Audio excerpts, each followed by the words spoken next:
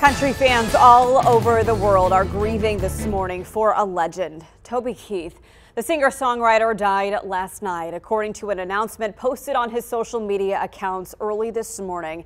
His official website also confirms the news. According to those statements, Keith died surrounded by his family.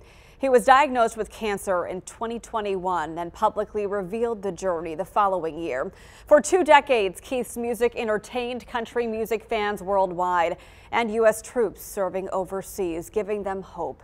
He sold more than 40 million albums and had 20 number one hits on the Billboard Country Song chart. Before pursuing a music career, he worked in the oil industry and played defense in the USFL Football League. He was 62 when he died.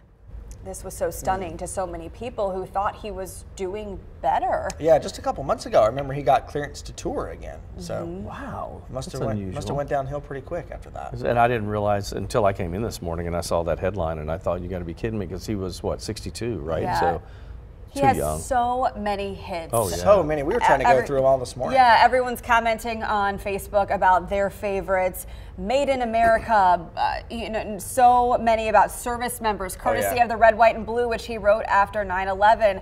Of course, beer for my horses. You know, some of the fun Yeah. ones, uh, the bar-themed songs. He was just, he was a great guy, and he really made you feel like you were his friend if he knew you Oh, were yeah. not. Did he sing? Uh, it's one of those funny songs, the Red Solo Cup. He did. Yeah, he did. That- that's a hilarious song. Yep. Like he had a good sense of humor. He did a lot of tours, um, you know, a lot of tours with servicemen and did a Yeah. lot of shows overseas and for troops and stuff. He did a lot of work for um, veterans too. Well, his body of work speaks for his talent. Yeah, that's for sure. Yeah.